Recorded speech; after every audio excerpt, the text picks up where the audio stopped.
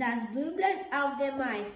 Gefroren hat es heuer noch gar kein fastes Eis. Das Büblein steht am Weiher und spricht zu sich ganz leis. Ich will es einmal wagen, das Eis, es mich doch tragen, wer weiß. Das Büblein staff und Hagen mit sein Stiefellein. Das Eis auf einmal knacken und kracht, schon bricht kein Heim.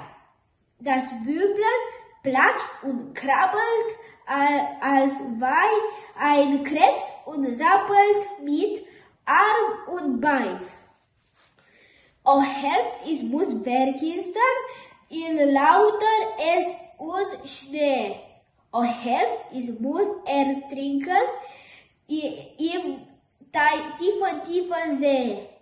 Wär nicht man gekommen, der sich ein Herr ge genommen, o wer? Der packt es bei dem Schofe und sieht es dann heraus vom Füße in Koffe wie ein Wassermaus. Das Büblein hat getroffen, der Vater hat geklopft zu Haus.